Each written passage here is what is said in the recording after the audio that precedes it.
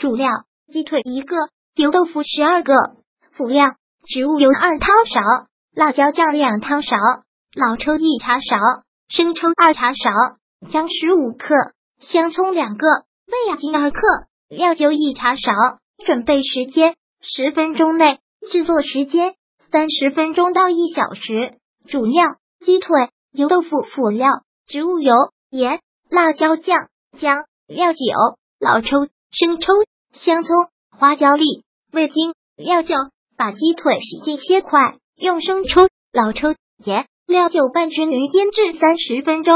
姜切片，香葱切末，石锅底部铺上姜片、花椒粒，加腌制好的鸡块，加水满过鸡块，加植物油，大火烧开，加辣椒酱拌均匀，转小火煲二十分钟，加油豆腐再煲十五分钟左右，直到鸡块熟透，撒上香葱末，加味精。均匀拌均匀即可。